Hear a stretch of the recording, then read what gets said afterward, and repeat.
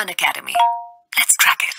Hello hi everyone ನನ್ನ ನನ್ನ ಹೆಸರು ಸಪ್ತಶ್ರೀ ಬಿ ಕೆ ಹೇಳಿ ನಾನು ಈ ಸತಿ K S two thousand fifteen gazetted probationary ಎಕ್ಸಾಮ್ಸಲ್ಲಿ first rank ಪಡೆದು ಅಸಿಸ್ಟೆಂಟ್ ಕಮಿಷನರ್ ಆಗಿ ಆಯ್ಕೆಯಾಗಿದ್ದೀನಿ ರೆವೆನ್ಯೂ ಡಿಪಾರ್ಟ್ಮೆಂಟ್ಗೆ ಆ್ಯಂಡ್ ನಾನು ಮೂಲತಃ ರಾಮನಗರ ಡಿಸ್ಟಿಕ್ ಮಾಗಡಿ ಜಿಲ್ಲೆ ಸಾತ್ನೂರಿನವಳು. ಮತ್ತು ನನ್ನ ಎಜುಕೇಷನ್ ಬ್ಯಾಕ್ಗ್ರೌಂಡ್ ಬಂದಾಗ ನನ್ನ ಎಜುಕೇಷನ್ ಬಂದು ಬ್ಯಾಂಗ್ಳೂರಲ್ಲೇ ಆಯಿತು ಎಲ್ಲ ಕಂಪ್ಲೀಟ್ ಎಜುಕೇಷನ್ ನಾನು B S C biochem biotechnology ಮುಗಿಸಿದೆ N M K R V ಕಾಲೇಜಲ್ಲಿ ತದನಂತರ M S C biochemistry Dayanand Sagar ಇನ್ಸ್ಟಿಟ್ಯೂಷನಲ್ಲಿ ಮುಗಿಸಿ. ಆಮೇಲೆ ರಿಸರ್ಚ್ ಪೇಪರ್ ಕೂಡ ಪಬ್ಲಿಷ್ ಮಾಡಿದೆ.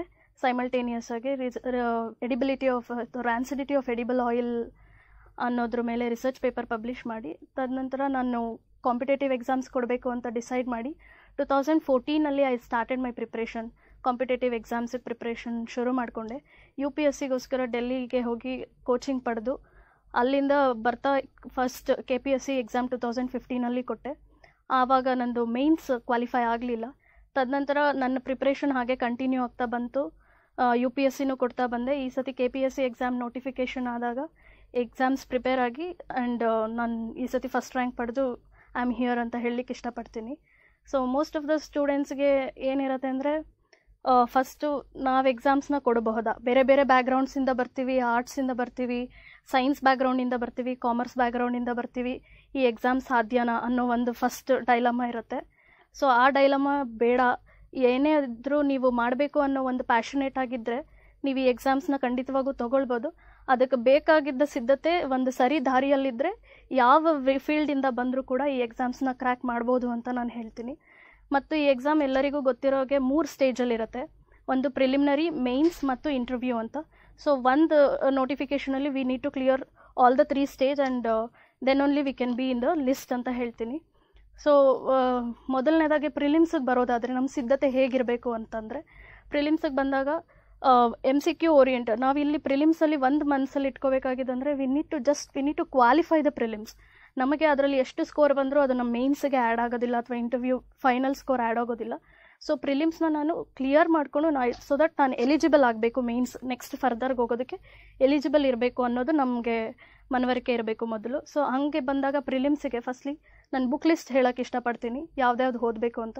ಹಿಸ್ಟ್ರಿಗೆ ಬಂದಾಗ N C R T for Indian history and ಕರ್ನಾಟಕಕ್ಕೆ ಬಂದಾಗ ಸೂರ್ಯನಾಥ್ ಕಾಮತ್ ಅಥವಾ Palaksha volume one volume two ಅದು ಹೆಲ್ಪ್ ಆಗುತ್ತೆ. When it comes to polity Lakshmikanth book and geography ಬಂದಾಗ N C R T for Indian geography and world geography ಮತ್ತು Ranganath for Karnataka geography and economy any standard N C R T books ಓದ್ಬೋದು, ಅಥವಾ ಶಂಕರ್ ಗಣೇಶ್ ಕೂಡ help ಆಗುತ್ತೆ ಎಕನಾಮಿಕ್ಸ್ಗೆ ಮತ್ತು economic survey of Karnataka and India ತುಂಬ important ಆಗುತ್ತೆ. And next come science and technology current ಅಫೇರ್ಸನ್ನ ಟಚಲ್ಲಿದ್ರೂ ಸೈನ್ಸ್ ಆ್ಯಂಡ್ ಟೆಕ್ನಾಲಜಿ ಕವರ್ ಆಗುತ್ತೆ. ಆ್ಯಂಡ್ ಎನ್ವೈರನ್ಮೆಂಟಿಗೆ ಬಂದು ನಾನು Shankar I A S environment book refer ಮಾಡಿದ್ದೆ. So that is a very good book to refer for And and when it comes to current affairs current affairs ಬಂದಾಗ any standard newspaper daily news ಪೇಪರ್ನ ಓದ್ತಾ ಇರಬೇಕು, ಅದು important ಆಗುತ್ತೆ. And next comes current affairs any standard any booklet of the any institution can give you like quick revision so ಅದು current ಅಫೇರ್ಸ್ನ ಮುಖ್ಯವಾಗಿ revision ಮಾಡಬೇಕಾಗತ್ತೆ. ನೆಕ್ಸ್ಟ್ ಪ್ರಿಲಿಮ್ಸ್ ಪ್ರಿಪ್ರೇಷನ್ ಮುಗಿತಿದ್ದಂಗೆ ನಮಗೆ ಒಂದು ನೆಕ್ಸ್ಟ್ ಸ್ಟೂಡೆಂಟಿಗೆ ನೆಕ್ಸ್ಟ್ ಲೆವೆಲ್ ಆಫ್ ಪ್ರಿಪ್ರೇಷನ್ಗೆ ಒಂದು ಇಂಪಾರ್ಟೆಂಟ್ ಆಸ್ಪೆಕ್ಟ್ ಏನಿರುತ್ತೆ ಅಂದರೆ prelims score important make sure that you will be in the list ಅಂದರೆ ನಿಮ್ಮ ಕಟ್ ಆಫ್ ಮಾರ್ಕ್ಸ್ ಏನಿರುತ್ತಲ್ಲ ಅದಕ್ಕಿಂತ ಜಾಸ್ತಿ ಇರುತ್ತೆ.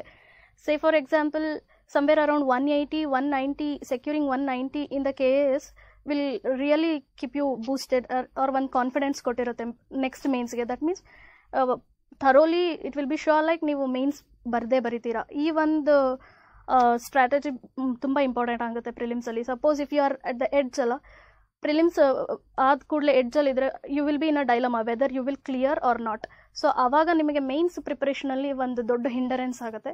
So don't give such an edge ಅಂತ ಹೇಳಲಿಕ್ಕೆ ಇಷ್ಟಪಡ್ತೀನಿ.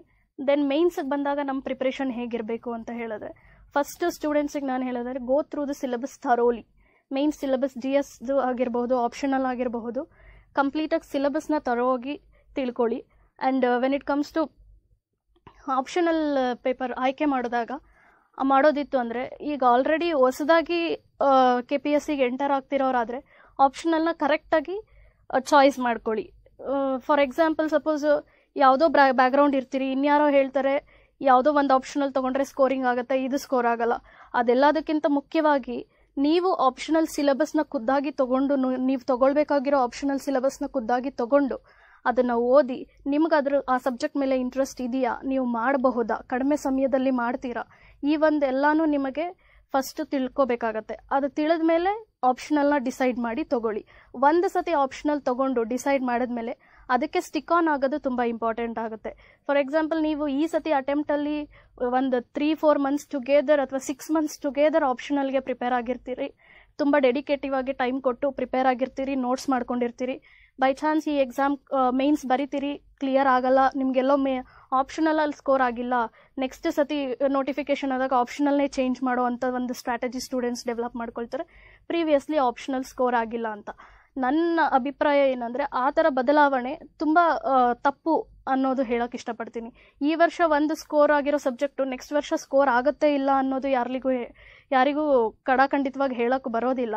ಸೊ ಬೆಟರ್ ನೀವು ಬೇರೆ ಆಪ್ಷನಲ್ನ ಆಲ್ ಟುಗೆದರ್ ತೆಗೆದು ಪದೇ ಪದೇ ಪ್ರತಿ ನೋಟಿಫಿಕೇಷನಲ್ಲೂ ಚೇಂಜ್ ಮಾಡೋ ಬದಲಿಗೆ ಹಿಂದೆ ಎಷ್ಟು ಟೈಮ್ ಸ್ಪೆಂಡ್ ಮಾಡಿದ್ದೀರಲ್ಲ, ಅಷ್ಟು ಟೈಮ್ ಕೊಟ್ಟು ನೋಟ್ಸ್ ಎಲ್ಲ ಮಾಡಿರ್ತೀರ, ಅದನ್ನು ರಿವಿಷನ್ ಮಾಡಿಕೊಂಡು, ನೀವು ಎಲ್ಲಿ ತಪ್ಪಾಗಿದೆ ಏನಕ್ಕೆ ತಪ್ಪಾಗಿದೆ ಅನ್ನೋ ಅನಲೈಸ್ ಮಾಡಿ ಅನಾಲಿಸಿಸ್ ಮಾಡಿಕೊಂಡು, ತದನಂತರ ಅದಕ್ಕೆ ಒಂದು ಸ್ವಲ್ಪ ವ್ಯಾಲ್ಯೂ ಅಡಿಷನ್ ಮಾಡಿಕೊಂಡು, ಜಾಸ್ತಿ ರಿವಿಷನ್ ಕೊಟ್ಟಿದ್ದೇ ಆದರೆ, ಖಂಡಿತ ನಿಮ್ಮ ಆಪ್ಷನಲ್ಲಿ ನಿಮಗೆ ತುಂಬ ಒಳ್ಳೆ ಸ್ಕೋರ್ಸ್ ತಂದು ಕೊಡುತ್ತೆ.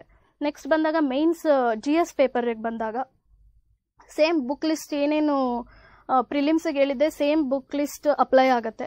ಎಕ್ಸ್ಟ್ರಾ ಏನು ರೆಫರ್ ಮಾಡಬೇಕಾಗುತ್ತೆ ಅಂದರೆ ಕೆಲವೊಂದು ಸೆಕ್ಷನಲ್ಲಿ for example animal husbandry agriculture topic general science science and technology related topic ಈ ಒಂದು ಇದಕ್ಕೆ ನಾವು ಎಲ್ಲಿಂದ ನೋಟ್ಸ್ ತಗೊಳ್ಬೇಕು ಎಲ್ಲಿ ಸಿಗುತ್ತೆ, ಏನು ಅನ್ನೋದು ಒಂದು ಡೈಲಮಾ ಕಾಡ್ತಾ ಇರುತ್ತೆ ಎಲ್ಲರಿಗೂ. ಸೊ ಅಲ್ಲಿಗೆ ಬಂದಾಗ ನಾನು ಇನ್ಸ್ಟೆಡ್ ಆಫ್ ಗೂಗಲ್ ಸಹಾಯ ತಗೊಳ್ಬೋದು. ಅದಕ್ಕಿಂತ ನಾನು ಬೆಸ್ಟ್ ಸೋರ್ಸ್ ಏನು ಹೇಳಕ್ಕೆ refer government sources like for example India yearbook animal ಹಸ್ಬೆಂಡ್ರಿಗಾಗಲಿ ಅಗ್ರಿಕಲ್ಚರ್ಗಾಗಲಿ ತುಂಬ ವಾಸ್ಟಾಗಿ ಅದ್ರ ಬಗ್ಗೆನೇ ಕವರ್ ಮಾಡ್ಕೊಂಡಿರ್ತಾರೆ. ಸೊ ಅದು ನಿಮ್ಗೆ ಒಂದು ತುಂಬ ಹೆಲ್ಪ್ ಆಗುತ್ತೆ. ಆ್ಯಂಡ್ ನೆಕ್ಸ್ಟ್ ಬಂದಾಗ handbook Karnataka handbook history ಆಗಿರಬಹುದು, ಮತ್ತು ಕರ್ನಾಟಕ ಡೇಟಾ ಸ್ಟ್ಯಾಟಿಸ್ಟಿಕ್ಸ್ ಪ್ರೀವಿಯಸ್ ಏನೇನು ಇರುತ್ತೆ, ಅಲ್ಲಿಂದ ನಿಮಗೆ ತುಂಬಾ ಮಾಹಿತಿ ತೊಗೊಳ್ಬೋದು. ಆಮೇಲೆ ಕರ್ನಾಟಕ ಎಕನಾಮಿಕ್ ಸರ್ವೆ ರಿವೈಸ್ ಮಾಡಿರ್ತೀರಿ ಕೀಪ್ ರಿವೈಸಿಂಗ್ ದಟ್ ಅದು ಅದು ಕೂಡ ನಿಮಗೆ ಸ್ಕೀಮ್ಸ್ ಆಗಿರಬಹುದು, ಎಲ್ಲದಕ್ಕೂ ಹೆಲ್ಪ್ ಆಗುತ್ತೆ. ಸೊ ಸ್ಟ್ಯಾಂಡರ್ಡ್ ಬುಕ್ಸಿಂದ ಜೊತೆಗೆ ಈ ಒಂದು ಎಕ್ಸ್ಟ್ರಾ ಅಡಿಷನ್ಸ್ನು ನೀವು ನಿಮ್ಮ ಪ್ರಿಪ್ರೇಷನ್ನಲ್ಲಿ ಇದನ್ನು ರೆಫರ್ ಮಾಡಿದ್ದೆ ಆದರೆ ನಿಮಗೆ ಮೇನ್ಸ್ಗೆ ಒಳ್ಳೆ ವ್ಯಾಲ್ಯೂ ಅಡಿಷನ್ ಆಗುತ್ತೆ.